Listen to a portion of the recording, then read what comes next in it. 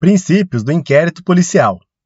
O inquérito policial é um procedimento administrativo preliminar, conduzido pela Polícia Judiciária, Polícia Civil ou Federal, dependendo da competência, cuja finalidade é a investigação de infrações penais e a colheita de provas que permitam ao Ministério Público formular uma acusação. Ele é regido por diversos princípios específicos, que são essenciais para garantir a legalidade e a eficácia do processo penal. Vamos explorar os princípios do inquérito policial. Princípio da oficialidade. O inquérito policial é instaurado e conduzido por autoridades públicas, delegados de polícia, que têm o dever de investigar as infrações penais de ofício, independentemente de provocação. Previsão legal. Este princípio é decorrente do próprio papel da Polícia Judiciária, conforme previsto no artigo 144 da Constituição Federal e nos artigos 4 e 5 do Código de Processo Penal. Princípio da indisponibilidade. Uma vez iniciado o inquérito policial, não pode ser arquivado ou descontinuado pela polícia.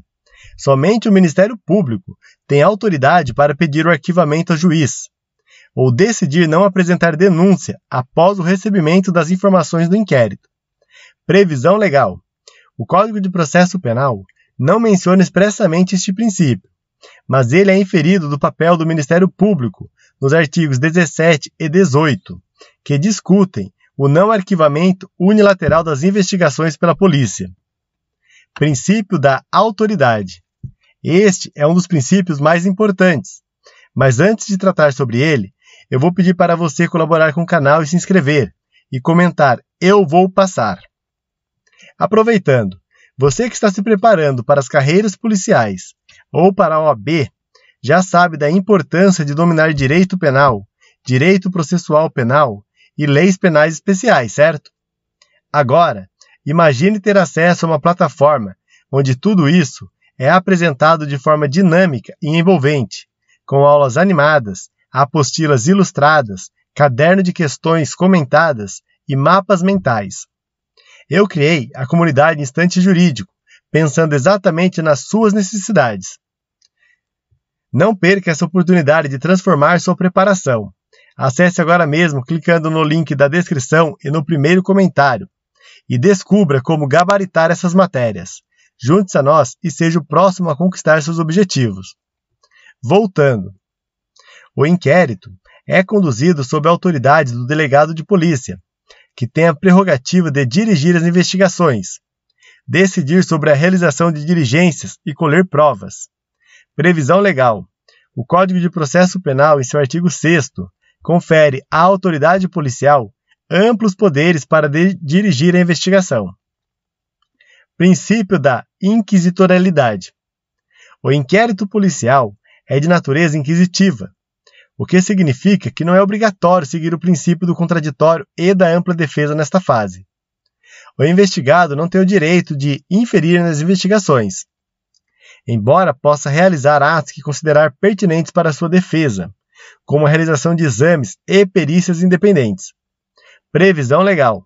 Não há uma previsão legal explícita sobre este princípio no Código de Processo Penal, mas é um entendimento doutrinário e jurisprudencial consolidado, com base na natureza investigatória do inquérito.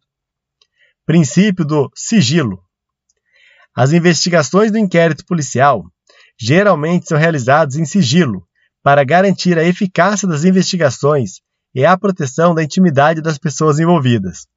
No entanto, esse sigilo não é absoluto, e os advogados dos investigados têm direito de acesso aos autos do inquérito, desde que não comprometam as diligências em andamento.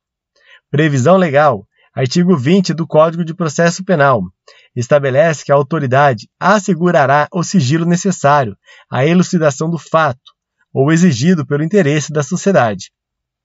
Princípio da escrituração. Todo procedimento investigatório deve ser documentado de forma escrita, com a formalização das diligências, depoimentos e provas coletadas, garantindo-se assim a transparência e a possibilidade de revisão judicial. Previsão legal. Artigo 9 do Código de Processo Penal menciona que todos os termos de depoimento e demais peças do inquérito devem ser reduzidos a escrito. Lembre-se, para gabaritar direito penal, direito processual penal e leis penais especiais, venha para a comunidade Instante Jurídico. O link está na descrição e no primeiro comentário. Um grande abraço, bons estudos e até a próxima aula!